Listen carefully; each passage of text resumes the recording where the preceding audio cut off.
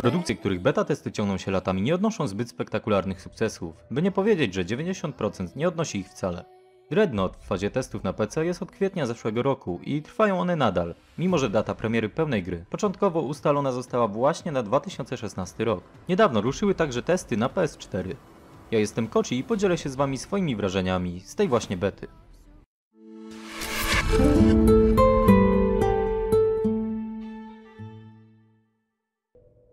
Moda na sieciowe walki maszynami bojowymi chyba się powoli kończy. Oczywiście World of Tanks czy Armored Warfare mają się dobrze i nic nie zapowiada ich nagłej śmierci. Chodzi mi o to, że w tym gatunku mamy już dwie wielkie rywalizujące ze sobą marki i sporo innych, mniejszych i większych tytułów, które nawet nie otarły się o sukces tych gigantów. Po próbie detronizacji przez okręty czy samoloty przyszła pora na statki kosmiczne. I tu właśnie dostajemy Dreadnought, które garściami czerpie z rozwiązań tych największych. I to jest według mnie pierwszy problem tego tytułu. World of Warships czy World of Warplanes dobitnie pokazały, że sama zmiana środowiska nie wystarczy do odniesienia sukcesu. Wniosków z tego faktu nie wyciągnięto, a produkcja po pierwszym kontakcie mogłaby dla mnie nazywać się World of Spaceships, dosłownie. W pewnym momencie aż sprawdziłem, czy aby na pewno nie stoi za nią Wargaming. Menu, kosmiczny garaż, drzewko technologii, chód w grze. Nawet ikonki monet czy gwiazdek doświadczenia, które oczywiście podzielone były na te uniwersalne i te przypisane do maszyn. Czy naprawdę tak ciężko jest stworzyć ten interfejs? Rozumiem, że wzorowanie się na wielkich ułatwia, bo dajemy ludziom coś, co znają, co jest dla nich bardziej intuicyjne. Ale czy te ikony naprawdę musiały być zrzynką w skali 1 do 1? Nie sądzę. A uwierzcie mi, że tego jest naprawdę tak dużo, że kończąc swoją przygodę z tym tytułem, nie jestem w stanie wymienić unikalnego zabiegu w interfejsie, jaki bym tutaj zauważył. Będąc przy kwestii interfejsu, poruszyć muszę jeszcze dwa aspekty. Pierwszym są cholernie małe czcionki. Twórcy chyba optymistycznie założyli, że każdy gracz konsolowy ma 70-calowy ekran i siedzi z metr od niego.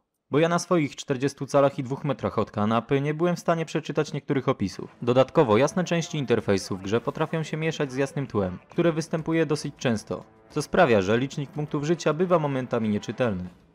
Druga rzecz to, to fakt, że interfejs na konsoli jest znacznie brzydszy niż na PC. Rozumiem, że trzeba było go dostosować, by był wygodniejszy dla pada i bardziej czytelny, choć jak już wspomniałem to ostatnio nie wyszło. Ale dlaczego został on tak drastycznie zmieniony i to w mojej opinii na gorsze?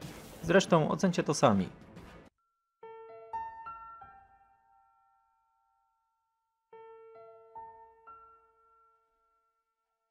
Okej, interfejs nie jest w grze najważniejszy. Przejdźmy do rozgrywki. Twórcy udostępnili po dwa tryby dla walk przeciwko żywym graczom, jak i sztucznej inteligencji. Mamy tutaj drużynowy deathmatch oraz tryb eliminacji. Tego pierwszego przedstawiać nie trzeba, a ten drugi to prawdopodobnie coś w stylu Last Man Standing, tylko że drużynowego, jak właśnie World of Tanks.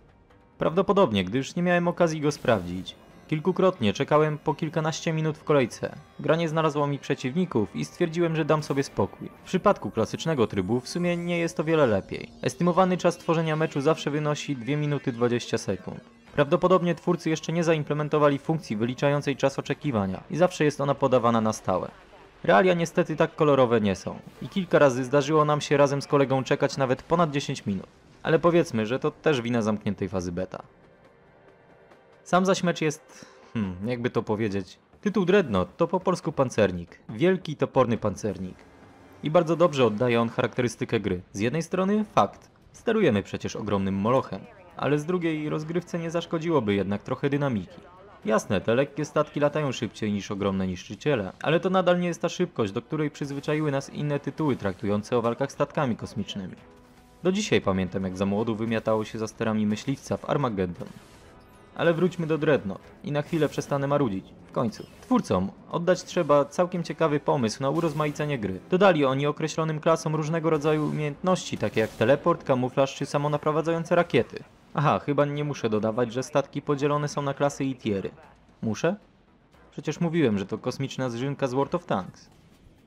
Sama rozgrywka mimo tych wszystkich zarzutów nie jest aż taka zła. Jak mówiłem, jest po prostu za mało dynamiczna. Wyrównany i zacięty do samego końca mecz sprawiał radochę, ale niestety w moim przypadku była to rzadkość. Drużyny często bywały nierówne i w momencie, gdy ja miałem swój mecz życia, tak jak właśnie widzicie, moi sojusznicy niestety poziomu nie trzymali.